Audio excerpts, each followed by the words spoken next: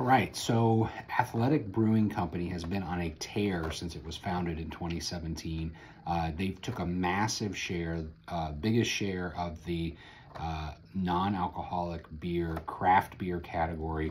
Uh, and I think they're probably their best beer is this Free Wave uh, IPA, which uh, is 0.5% or less, which is considered non-alcoholic beer. it's 70 calories, 16 grams of carbs.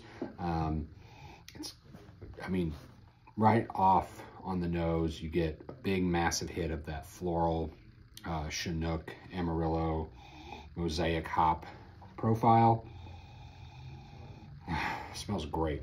Gonna take a sip. You can see the hazy going right there.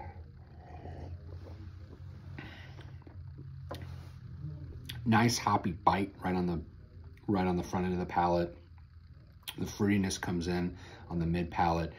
It's crisp. It's got a little bit of a tanginess to it.